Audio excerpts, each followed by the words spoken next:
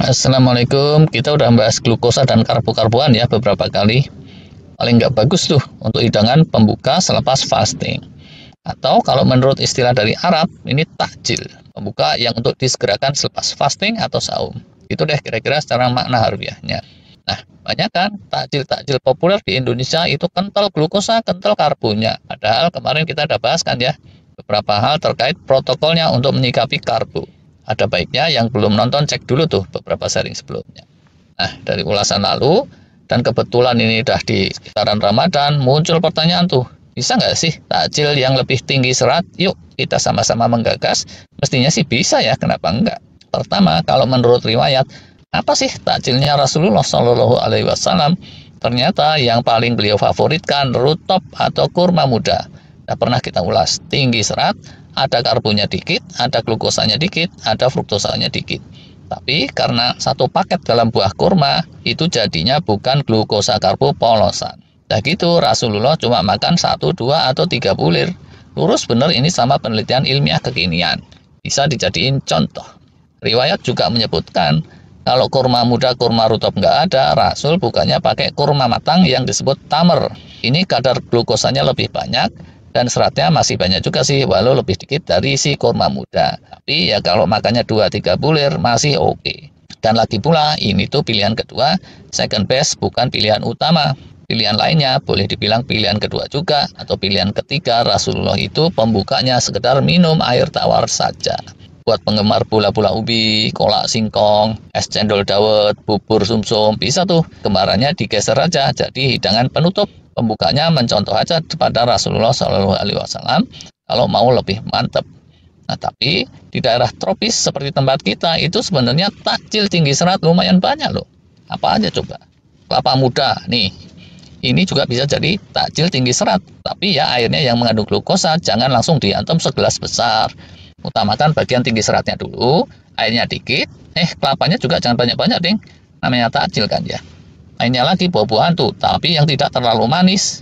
Jambu bangkok, buah naga, melon yang belum terlalu manis, mangga mana lagi yang nggak terlalu manis, timun, timun suri, tomat, atau apalagi tuh, banyak kan ya.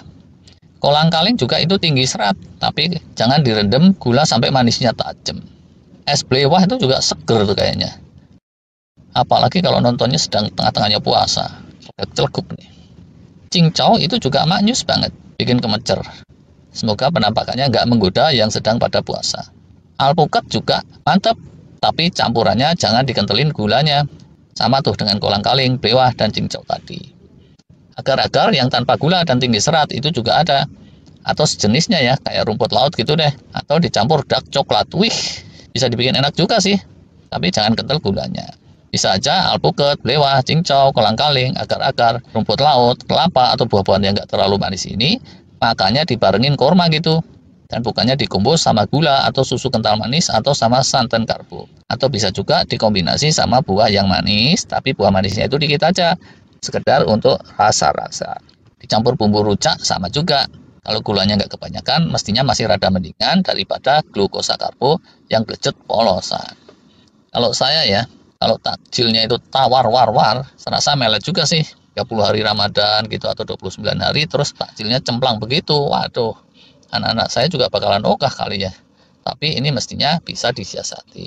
Misal nih minum es kopior gitu atau es cincau atau es blewah.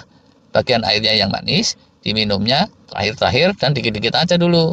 Yang utama didulukan itu bagian tinggi seratnya sebagai pembuka. Mestinya ini lumayan kan ya kalau menilik protokol makan karbo yang kemarin. Lumayan bisa banyak tuh ya pilihannya, tapi hmm, bisa lebih banyak lagi yang kental glukosa karbonya yang sering bikin ngiler. Tapi kalau yang disiplin mau sehat, apalagi yang udah terlanjur pada diabetes atau diabetes, resisten insulin, dan serius pengen sehat. Ya udah, wayah nak. Dan salah satu hakikatnya puasa itu kan ujian kesabaran tuh. Kalau puasa aja nggak bisa sabar, apalagi nanti kalau pas nggak puasa. Repot tuh. Kalau siap dengan yang ringan banget, bisa juga pembukanya sekedar silo kalorian, seperti green tea, teh tawar, kopi tawar, atau semacam itu, dark coklat juga bisa. Ada mungkin yang mendebat, kalau karbonnya belum mantap, manisnya minim, terasa kurang nendang bro. Yang diharap-harap sejak pagi, itu minum teh manis hangat gitu. Atau kopi manis, kopi susu, atau apa tuh yang diharap-harap biasanya. Ha. Dan mungkin ada yang bilang, begitu nyerutuk teh manis, secara instan akan muncul rasa piar-piar gimana gitu, yang langsung menimbulkan kepuasan luar biasa. Sedangkan kalau kelapa muda, mana tawar pula, beda kan ya. Nah, kalau yang persepsinya gitu hati-hati. Teh manis kayak gitu, walau piar-piar enak, dampaknya jangka pendek saja. Yang kita sampaikan tadi, dan soal peduli karbo kemarin, itu dampaknya kan jangka panjang. Jadi bisa aja secara jangka pendeknya nggak terlalu dapat. Eh, tapi kalau beneran yang disasar itu jangka pendek, teh manis, kopi manis, nanggung kan ya, suntik aja morfin, atau langsung ngedrug atau semacam itu. Rada sarkastik nih, rasanya jauh lebih fly, fly, fly. tapi gila kan ya, Oke lah, kalau suntik morfin dosis penuh dirasa kelewat gila, gimana kalau setengah dosis? Dikombo sama godokan ciu beberapa cecep. gimana kalau diganti air gula yang segelas besar berwujud sirup atau segala macam kental bener? Itu tuh sebenarnya sama gilanya. Kalau menurut Profesor Lustig dan para pakar kekinian. Jangka pendeknya dapat, tapi jangka panjangnya ambiar. Jadi ya kalau mau sehat, ingat aja, fasting itu gamenya jangka panjang. Demi kebaikan selamanya di dunia dan di akhirat lo. Kurang panjang gimana coba? Jadi kalau pas bukanya yang diincar kesenangan sesaat, ini serasa mengkhianati semangat fastingnya. Tapi bisa kok, jangka panjangnya bagus, jangka pendeknya tetap oke. Es kelapa muda, cincau, alpukat, enak-enak semua kan. Bisa juga terus dibikin kreasi baru, kombinasi dari beberapa yang enak-enak tadi itu. Hmm, tapi ada beberapa ya, yang saya nggak tahu nih kalau jadi takjil bagus apa enggak. Saya masih ragu-ragu. Pertamanya cheddar cheese. Cari-cari para pakar nggak ada yang rekomendasikan ini sih.